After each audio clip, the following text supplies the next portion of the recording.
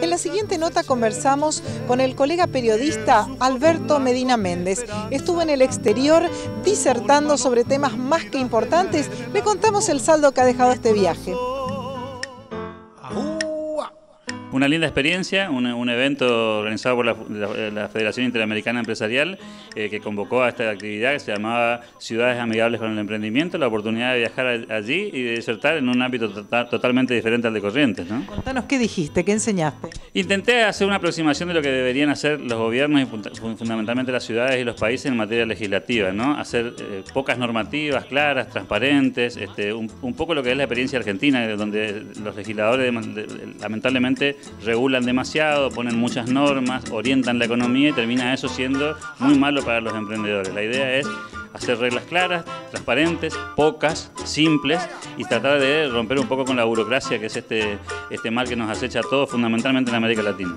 Hacer algo que a vos te gusta, dar charlas. Sí, eh, la verdad que es un costado que, me gustaría todavía desarrollar mucho más, esto de, poder, este, la, tarea de orador y fundamentalmente de difundir las ideas este, como comunicador. Fue una buena experiencia con gente de muy buen nivel en una ciudad que comercialmente es muy importante, la más importante de, Ecuador y, un ámbito de más de 1.200 personas que realmente fue imponente en un lugar como, como el Hilton de Guayaquil, que también tiene su, su costado interesante. ¿no? no es un ámbito al que uno esté muy acostumbrado este, a disertar.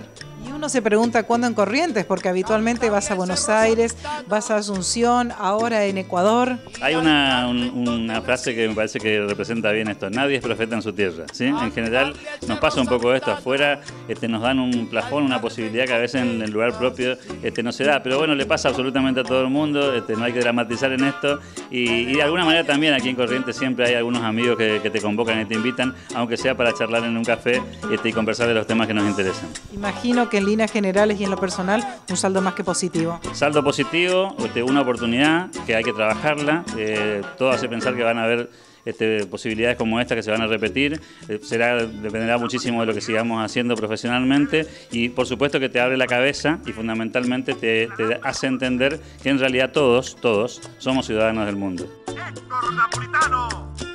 Suena el